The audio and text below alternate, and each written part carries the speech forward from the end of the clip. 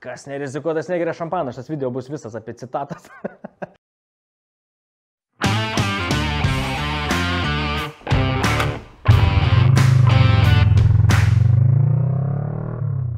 tai jo, sakau, žinai, kaip, kaip sako seneliai arba tėvai, nešok aukščiau bambos arba nekask daugiau negu gali apžiot. Tai visas tas toks yra, žinai, kaip pagalvoji, mokymas, kad būk savo vietų, būk savo vietų, labai geras yra pasakymas, žinai. Nesąmonė, nereikia būti savo vietų, reikia kaip tik šokti, žinai, aukščiau negu gali pašokti. Yra posakis arba Cezaris, arba niekas, tai aš mėgstu labai tą posakį, nu, nes realiai kas nori gyvenime būti tiesiog eiliniu pastumdėliu. Tai su ta mintim ir, ir šitas epizodas, kad dalykas, ko realiai tikrai neplanavau dar prieš pusę metų, apie metus net nekalbu, prieš pusę metų, kai pradėjau YouTube, mano idėja buvo tiesiog kur turinį motociklininkams, sujungti motociklų bendruomenę, kas visai neblogai, tarp kitko, sekasi, e, skaičiai auga, žmonės e, jungiasi, bendrauja ir, ir viskas ok, bet atsirado su laiku tokia mintis, kad e, vėl pasakymas, dirb darbą, kuris tau patinka ir ne vieną dieną tau nereikės dirbti. Ir čia turėtų būti, žinai, kas pasakė, net nežinau kas. Tai tos, tos citatos, žinai, demotivacijos. Ir iš tikrųjų tai yra tiesa, realiai norisi veikti kažką, kas suteiktų džiaugsmą, kas suteiktų pasitenkinimą, pilnatvę ir, ir šiaip atsibodu užsienį važinėti, kiek galima. E, vaikai auga, žmona liūdi ir priejau prie tokios ganėtinai pašėlusios, sakyčiau, minties e, atsidaryti motociklų servisą.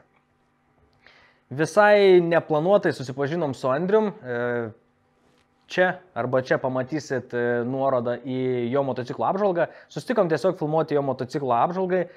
Ir praėjus kiek laiko, pradėjus dėliotis mintis apie motociklų servisą, pradėjau galvoti, kad reikia kolegos, reikia bendraminčio. Andrius kaip tik e, puikiai iš tikrųjų išmano motociklus, e, jaučia aistrą motociklam ir pradėjom su Andriu bendrauti, pasiūliau jam, pasakiau savo mintis, savo idėjas. Ir ką Jūs manot, sausio pabaiga, Tai yra septyni mėnesiai nuo dienos, kai kūriau YouTube kanalą, kai pradėjau kelti turinį į internetą. Stovim garaže, kuris oficialiai yra motodirbtuvės SAM. Motodirbtuvės sėda man moco. Viskas, tai yra oficialu, tai yra servisas. Sustojo, turim, turim pirmą klientą. Atvešit, sutvarkysim. O kas, kas per gedimai? Kol kas jokių. Kol kas jokių, bet pamačiau, sako, rūpinkis iš karto. Jo, jo. Nu, negražu sakyti, bet tikėkime, atvažiuosit. Reik man jį. Technika turi tendenciją gesti.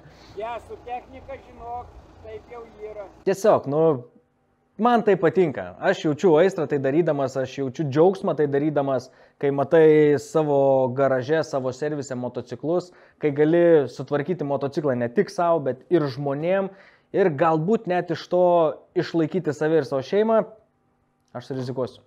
Tai šitas video yra būtent apie tai, bičiuliai. Norėjau padėkoti jums visiems. E, asmeniškai tai būtų sudėtinga, bet tikiuosi daug jūsų pamatys šitą epizodą ir ačiū. Ačiū, kad padėjot man apsispręsti, nes tik tais jūsų aktyvumas, tik tais jūsų noras įsijungti ir bendradarbiauti man leido pagalvoti apie tai, kad gal ir įmanoma. Gal ir įmanoma Šiauliuose, mieste, kuris saliginai yra nedidelis, įkurti verslą, įkurti servisą ir dar lengviau burti motociklininkų bendruomenę.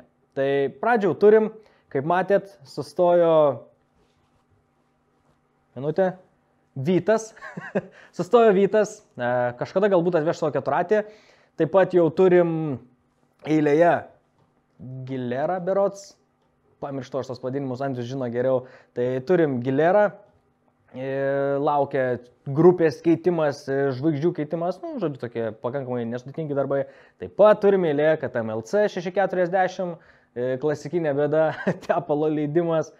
Ir Darbai po truputį atsiranda, tikiuosi, kad po to, kai paskelbėm viešai, darbų atsiras tik daugiau, nes ne veltui pavadinimas yra moto dirbtuvės. Ne moto remontas, ne motociklų servisas, o moto dirbtuvės. E, dirbtuvės todėl, kad e, su laiku planuoju padaryti tai kaip motociklų customizinimo arba motociklų lietuviškai gražinimo, ar kaip čia pavadinti, net nežinau. Žodžiu, planuojam daryti viską, visiškai viską plastikų gamyba, e, tiksliau anglės plošto gamyba, dažymas ir milteliniai dažymai visi, e, virinimas. Taip pat, jeigu reikia kažką suvirinti, atvažiuokit, suvirinsim staklės tiesinimui šakių, staklės tiesinimui rėmo. Žodžiu, su laiku planuojam padaryti, kad tai bus didelis ir labai plačios apimties servisas. Kol kas pradedam mažai žingsneliais, bet judam į priekį. Kaip sako, Roma pastatyti ne per vieną dieną. Dar vieną citatą. o tarp kitko su Audrum iš AK video, kuris šiuo metu mane filmuoja, e, kalbėjom apie, apie visus darbus ir nukrito plastikas man vienas. E, jeigu, jeigu žiūrit, o tikriausiai žiūrit, tai matėt, kad dažau plastikus. Vienas vėl nukrito, antrą kartą. Ir vėl reikės perdažyti ir aš sugalvojau savo citatą.